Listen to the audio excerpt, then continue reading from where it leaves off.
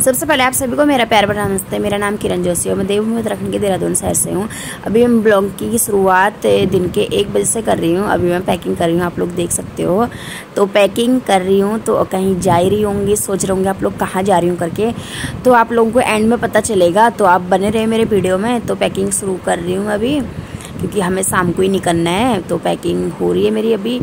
Husband तो अभी मेरी ड्यूटी है तो तब तक मैं पैकिंग करके रखती हूँ तो अभी वो, अभी तीन या चार बजे तक आएँगे तो हम जाएँगे फिर। चलो, मिलती हूँ आपको सीधे शाम को मैं, बने रहिए आप लोग।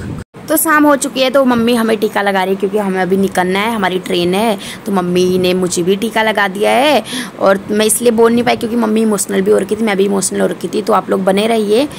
तो अब हम चलते अपने सफ़र की तरफ़। भाई लेने आ गया था, हमें रेलवे स्टेशन छोड़ना था हमें। तो अपने सफ़र को हम कंटिन्यू करते हैं। देखते रहो आप लोग हम कहाँ जा रहे करके। तो जैसे हम रेलवे स्टेशन में पहुँचे तो वहाँ पर बहुत तेज़ बारिश हो रही थी।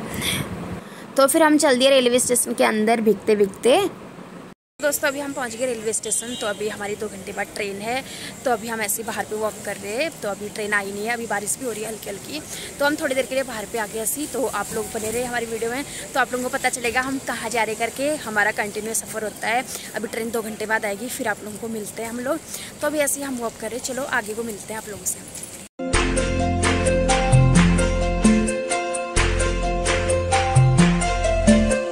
ट्रेन आ चुकी है, अब हम ट्रेन में चलते हैं। तो ये तो आगे आगे चले गए तो मैं जा रही हूँ पीछे वजह से। तो अब हम अपने सीट वगैरह देखेंगे अब। चले गए हम ट्रेन के अंदर। चलो अंदर को। तो ये करने लगे अपना रात्रि का भोजन। हँसते हँसते देख रहे, वीडियो तो नहीं बना रही करके। मैं तो खा के आई थी, क्योंकि तो मेरा तो फास्ट था तो इन्होंने कहा मैं ट्रेन में खाऊँगा और घर का मट्ठा आया है तो ये खाना खा रहे। मैंने देखती रह रही। तो अब हमारी ट्रेन चल दी देहरादून से तो मिलते हैं आप लोगों को एक हफ़्ते बाद। Bye bye Dehradun. तो आप लोगों को आगे पता चलेगा हम कहाँ जा रहे करके। तो आगे पता चलने वाला है आप लोगों को कहाँ जा रहे करके। चलो मिलते हैं आगे। बने रहिए आप लोग हमारे ब्लॉग में। चलते हैं अपने सफ़र की तरफ़ कंटिन्यू करते हैं अपना सफ़र हम।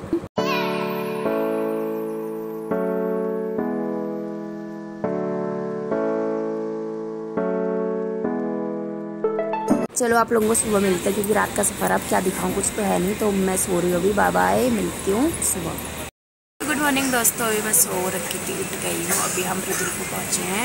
तो थोड़ी देर में हम काठगोदाम पहुँच जाएँगे। अभी एक घंटे बाद काठगोदाम पहुँच जाएँगे। तो ब्लॉग को कंटिन्यू करते हैं। चलो बने रहिए आप लोग मेरे साथ।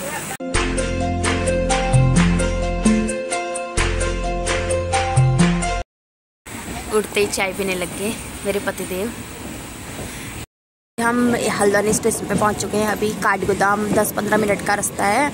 हल्द्वानी स्टेशन आ चुका है। तो फाइनली दोस्तों, हम पहुँच गए काठ गोदाम अपनी मंजिल की तरफ़ आ रहे हैं हम। तो चलो चलते हैं आगे को कंटिन्यू करते हैं अपना ब्लॉग तो अभी हम काठ गोदाम में, यहाँ से हम टैक्सी वगैरह में जाएँगे आगे। सबसे पहले हम जाते हैं थोड़ा गोली भी खानी है हमें उल्टी की, क्योंकि आगे को उल्टी का सफ़र भी अब आप लोग समझ ही होंगे, हम कहाँ जा रहे तो हम ब्रेकफास्ट करते थे। तो हमने यहाँ पे थोड़ा सा ब्रेकफास्ट ले लिया है पराठा, ताकि उल्टी ना हो, हमें उल्टी की गोली भी खानी है। तो अब हम करते हैं, फिर हमने उल्टी की गोली भी खा ली। अब हम चलते हैं आगे को तो हमारी टैक्सी आ गई है यहाँ पे। तो चलो अब सामान रखते हैं हम और हम अपना सफ़र कंटिन्यू करते हैं आगे की तरफ़। अब देखते रहो आप लोग आगे। के